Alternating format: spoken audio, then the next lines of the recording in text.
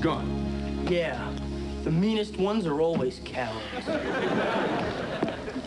Uh, can I help you? No, that's all right. Uh, we're looking for old lady Hickerson.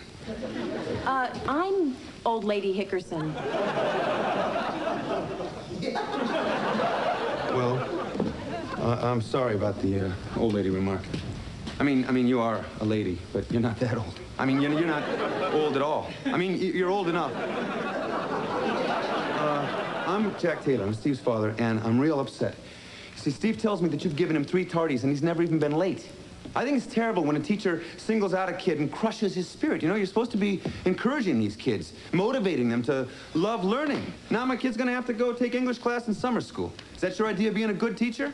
Because if it is, I think you should just get out of the profession. You finished?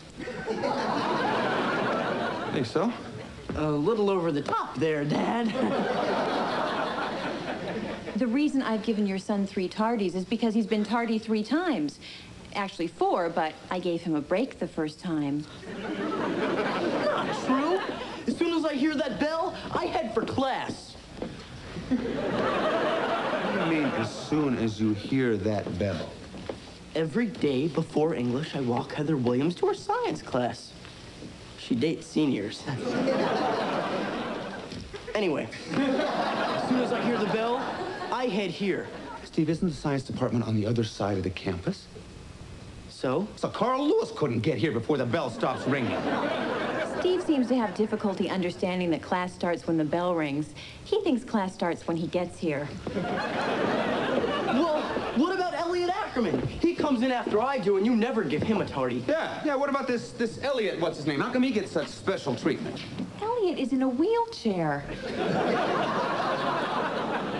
He's in a wheelchair? It makes a difference? Miss Hickerson, I'd like to apologize for every word I've said. I appreciate your patience, and let me assure you that from now on, Steve will be on time. A wheelchair? It's motorized.